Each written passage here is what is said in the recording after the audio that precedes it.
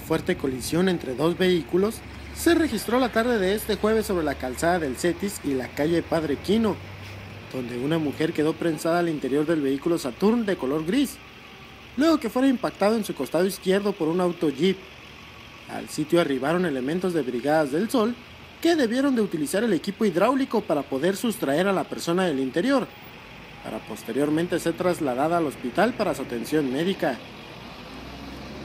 Tras la colisión, la mujer de la cual no se dieron sus generales quedó prensada dentro de la unidad, debido a la fuerza del impacto en el costado izquierdo, justo en el lado del conductor.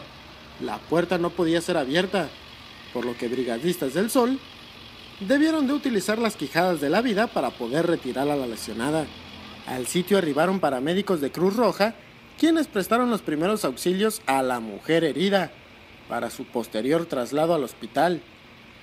Policías de tránsito municipal llegaron al sitio para desviar la pesada circulación de la zona y permitir los trabajos tanto de brigadistas como de paramédicos.